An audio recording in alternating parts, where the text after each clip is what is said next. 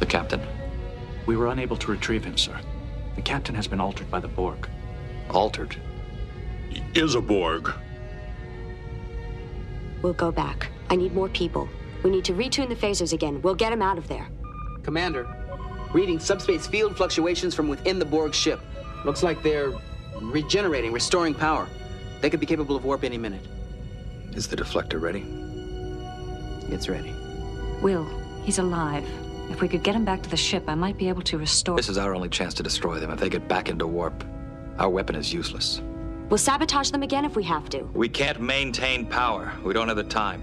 Prepare to fire. At least consult with Starfleet Command. Get Admiral Hanson on subspace. Belay that order, Lieutenant. There's no time.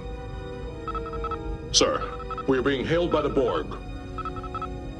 On screen.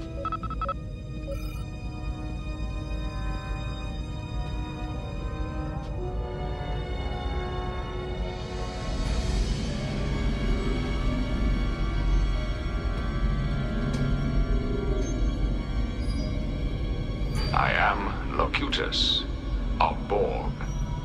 Resistance is futile. Your life, as it has been, is over. From this time forward, you will service us.